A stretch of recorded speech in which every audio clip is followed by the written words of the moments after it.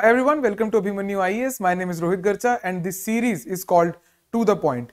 एक ऐसी सीरीज़ जहाँ पे हम करंट अफेयर्स को डिस्कस करते हैं प्रीलिम पॉइंट ऑफ़ व्यू से कि इस पर्टिकुलर करंट अफेयर से प्रीलिम्स के अंदर किस टाइप से सवाल आ सकता है और वो टॉपिक क्या है उस पर्टिकुलर टॉपिक को आइडेंटिफाई करना everything is part of this particular series and let me tell you about Abhimanyu I it's a platform which prepare you for your UPSC and PCS examination it has more than twenty three of experience in this particular field It has uh, given out more than 2200 positive results since 1999. And uh, there is this course which is already going on, taken by me. It's a current affairs course for both pre and mains. क्योंकि to the point के अंदर हम जो बात करते हैं वो to the point तरीके से प्रीलिम्स की बात करते हैं कि प्रीलिम्स के अंदर उससे जब आप टॉपिक भी देखते हो इसके अंदर तो क्या क्या चीज़ें ऐसी हैं जो प्रीलिम्स के अंदर पूछी जा सकती है तो बहुत हाईली स्पेसिफिक कोर्स है एंड अगर आप चाहते हो कि आपकी सिलेक्शन हो जाए और आप उसके थोड़ा सा नज़दीक पहुँच जाओ तो this course will definitely help you it is a complete current affairs course इसके अंदर you get three things number one is the class uh, takes place on Saturday and Monday in both offline and online format. And it's a discussion based class और class के अंदर detail में discuss किया जाता है, mains point of view से खासकर discuss किया जाता है कि क्या सवाल आ सकता है कि, और वैल्यू एडिशन हर टॉपिक के अंदर की जाती है बिकॉज़ करंट अफेयर्स के अंदर तो सारे सब्जेक्ट्स हैं। तो ये, उसके अंदर ये सारी एडिशन इस पर्टिकुलर क्लास के अंदर होती है। Second you get a weekly PDF as well जिसके अंदर आपको पिछले हफ़्ते के जितने भी इंपॉर्टेंट और मेजर करंट अफेयर्स हैं, वो देखने को मिल जाते हैं। प्लस टू द पॉइंट तरीके से होता है उसके अंदर भी वेरी स्ट्रक्चर्ड करंट अफेयर्स की क्या पढ़ना है कैसे पढ़ना है। Number three is the we have weekly test from that current affairs का आपका एक वीकली टेस्ट भी हो जाता है तो आपकी रिवीजन साथ साथ में हो जाती है। And at the end of the day you can consider your current affairs का जो काम है टू बी डन इसके बाद आपको एक्स्ट्रा इसके बाद uh, कुछ करने की ज़रूरत नहीं है। करंट अफेयर्स वाला काम डन हो जाएगा। Plus right now who are watching the video you guys get a seven days uh, free trial as well तो आप एक बार उसको आप ट्राई कीजिए। एक आधी क्लास लगा के देखिए। And link is down there in the description description box में जाइए क्लिक कीजिए लिंक को।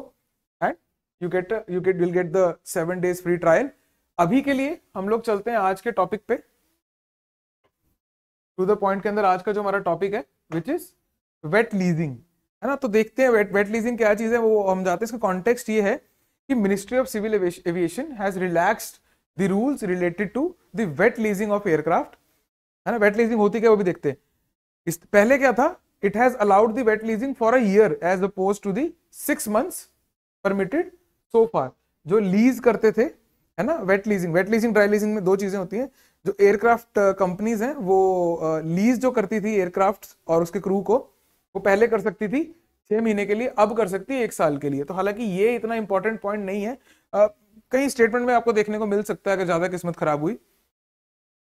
मेन जो मुद्दा है वो यहाँ पे है वेट लीजिंग इसके ऊपर सीधा सीधा क्वेश्चन आ सकता है which of the following correctly explain wet leasing जिसमें से तीन ऑप्शन गलत होंगे एक सही होगा। चलिए देखते हैं कि वेट लीजिंग है क्या। Wet leasing means renting the plane ठीक है along with the operating crew and engineers है ना? तो आपने पूरा चलता फिरता एक पूरा सिस्टम ही आपने ले लिया जिसके अंदर क्रू भी साथ में आ रहा है इंजीनियर भी मेंटेनेंस क्रू भी साथ में आ रहा है। एवरीथिंग जो पूरा प्रोसेस है, इसको कहा जाता है wet leasing while dry leasing refers to taking only the aircraft on rent wet leasing के अंदर आप सिर्फ़ एयरक्राफ्ट को जो है रेंट पे लेते हो। On the other hand dry leasing के अंदर आप सिर्फ़ एयरक्राफ्ट को रेंट पे लेते हो। ऑन दी अदर हैंड जो वेट लीजिंग है, उसके अंदर you take the whole operating crew along with the engineers and maintenance crew है ना? तो ये इसका बेसिक डिफरेंस है। अगर सवाल बनेगा तो वो यहाँ से बन सकता है। बहुत सिंपल कॉन्सेप्चुअल सवाल जैसे यूपीएससी में आते हैं कि जो मैंने, जिसने आपको बताया अभी कि which of the following correctly explains which of the following is the feature of wet leasing which of the following is not the feature of wet leasing तो यहाँ से आपको क्लियर हो जाएगा कि कैसे है। और उनमें से अगर कोई घुमा के क्वेश्चन मतलब घुमा के ऑप्शन डालना हुआ तो वहाँ पे वो पिछले वाला आ जाएगा कि wet leasing is allowed for six months currently wet leasing around is allowed for six months लेकिन नोटिफिकेशन चेंज हो गया, वो एक साल का हो गया। तो ये बस दो चार चीज़ें आपको इसमें ध्यान रखनी वेरी इजी टॉपिक बहुत आसान टॉपिक है ये वाला, इतना कुछ है नहीं इसमें। Second one the technical term for wet leasing is ACMI है ना? Which stand for aircraft crew maintenance and insurance मेरे हिसाब से ये एक इंपॉर्टेंट चीज़ है बिकॉज़ ये आपके यूपीएससी में इसको पूछा जा सकता है कि एसीएमआई की फुल फॉर्म क्या है वट एसीएमआई किसके लिए होता है इन वेट लीजिंग है ना? ये सवाल शायद आपको आने उसमें दिख भी जाएगा। तो ये एक इंपॉर्टेंट सवाल में से आपका जो है, वो बन सकता है। आगे देखते हैं।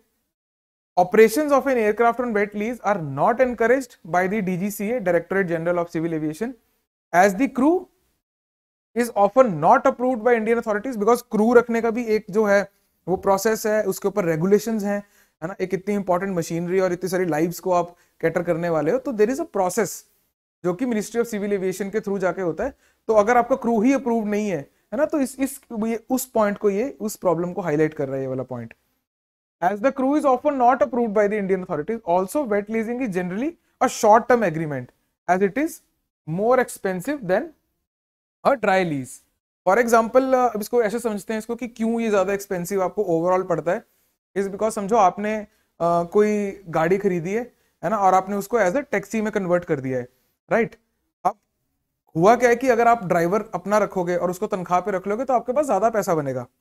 ऑन दी अदर हैंड आप ऐसी जगह पे करना चाह रहे हो कि गाड़ी भी तुम्हारी है और तुम ही इसको चलाने वाले हो आप, मैं आपको थोड़ा सा पैसा दूँगा और बदले में सेवेंटी थर्टी हम वो कर लेंगे तो उस केस में आपको प्रॉफिट मार्जिन कम रहेगा, है ना? तो दोनों प्रोसेस सेम है कि सड़क पे गाड़ी चलनी है एज टैक्सी ड्राई लीजिंग के अंदर आपको ज़्यादा पैसा मिलेगा और वेट लीजिंग के अंदर ओवरऑल आपको कम पैसा आएगा, है ना?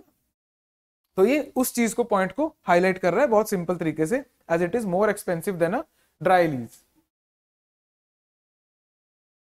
एक थोड़ा सा टेक्निकल पॉइंट है, इस पर समझते हैं कि why do airlines lease aircraft a lot of plane use by airlines in India are not owned but lease airlines and aircraft operators prefer leasing plane in order to avoid the massive lump sum payment that buying them would entail and quickly increase capacity पर हैरली on certain routes और sectors एक बड़ा plane खरीदना महँगा पड़ेगा rent करना आपको ईजी पड़ेगा ऑन स्पॉट है ना? ओवरऑल का क्या है? वो उस पर कॉमेंट नहीं है ये। लेकिन ऑन स्पॉट आपको लम सम पेमेंट नहीं करनी है। एक एरोप्लेन महँगा आता है है ना? तो आपको लम सम पेमेंट नहीं करनी है, आप किराए पे ले लोगे। ये वो वाला पॉइंट बोल रहा है। The technical term for wet leasing ये हमने देख लिया है। These are the aspects of the ये भी हमने देख लिया है। चलिए, जो इसके ऊपर एक एक जो थोड़ा टेढ़ा सवाल इसके ऊपर आ सकता है, जो आपको बता भी रहा था, अभी डिस्कस भी कर रहा था, कि what does ACMI stands for in wet leasing of aviation industry है ना? अब इसका आंसर हालाँकि हमें अभी पीछे देखा ही है। पॉज दी वीडियो अगर आपको याद आ रहा है तो वेल एंड गुड है। अब इसमें से सही आंसर मार दीजिए।